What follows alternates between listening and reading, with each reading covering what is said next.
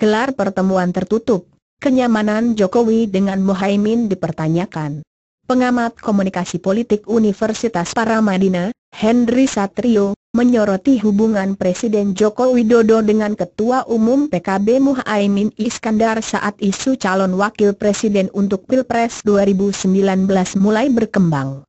Henry mempertanyakan, Mengapa Presiden Jokowi membedakan pertemuan dengan sejumlah ketua umum partai politik yang bersifat terbuka dan menjadi sorotan dan pertemuan dengan Cak Imin, sapaan akrab Muhaimin, yang terkesan tertutup dari publik.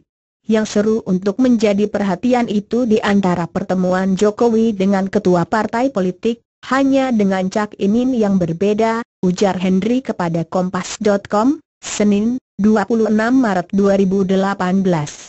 Dia melanjutkan, saat bertemu Ketua Umum Partai Nasdem Surya Paloh, misalnya, Presiden mengajak untuk bersama-sama meninjau proyek MRT. Begitu pula saat Presiden Jokowi bertemu Ketua Umum PDI Perjuangan Megawati Soekarno Putri yang dilakukan secara terbuka. Setelah pertemuan, Jokowi belak-belakan kepada media bahwa pertemuannya itu membahas Pilpres 2019. Demikian juga saat Jokowi bertemu dengan Ketua Umum Partai Golkar Langga Hartarto. Jokowi menjadikan momen lari pagi untuk berbincang mengenai calon wakil presidennya pada Pilpres 2019.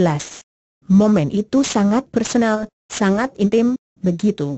Namun, Giliran ketemu Cak Imin di istana, ya kok enggak terbuka ya, terkesan ditutup-tutupi.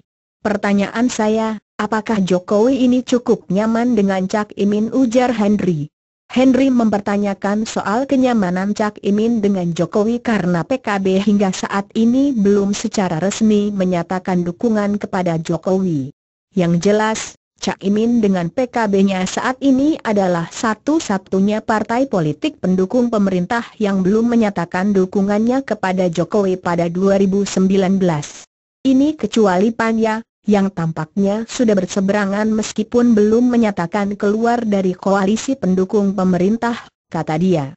Henry berpendapat, Jokowi sedang mencari sosok yang memiliki dua kriteria. Pertama, Jokowi tak akan memilih sosok yang menjadikan jabatan Wapres cuma batu loncatan untuk menjadi Capres pada Pilpres 2024. Kedua, Jokowi akan memilih sosok Cawapres yang bisa membantu menyelesaikan persoalan yang dihadapi di pemerintahannya saat ini. Persoalan itu mulai dari soal ekonomi, membumikan nilai Pancasila, dan mengeluarkan Jokowi dari belitan isu anti-Islam. Nah, Apakah Cak Imin punya hasrat pada 2024? Kalau punya, sulit dipilih.